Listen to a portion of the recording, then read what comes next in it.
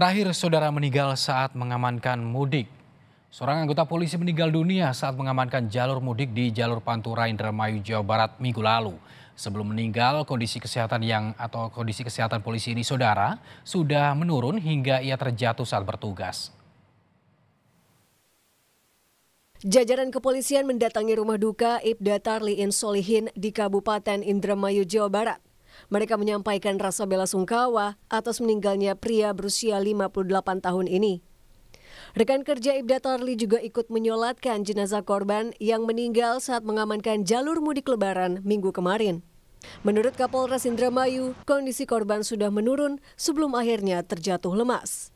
Ia meninggal dalam perjalanan ke rumah sakit diduga akibat serangan jantung. Meninggal pada saat berada di pos pengamanan Pasar Turung Agung. Jadi awalnya rekannya melihat bahwa kondisinya almarhum memang sedang tidak sehat.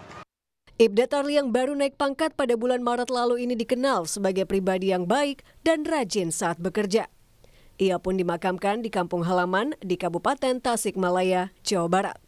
Fadlianto Sugiono, Kompas TV, Indramayu, Jawa Barat.